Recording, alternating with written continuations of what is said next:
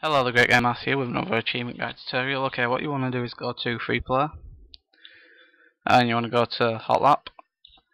Okay, now you want to pick a car with rear wheel drive, something like an M5 or a Holden. Mm-hmm, you don't want to be picking a Civic or something front wheel drive because it'll be hard to do.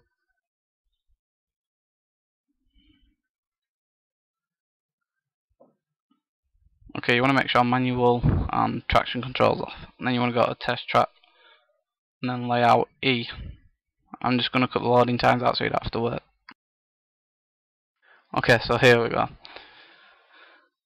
Now I know a lot of people might not have this track, but I'm just doing it for the purposes of the video and the easiest way to get the achievement, so that's why I picked this track.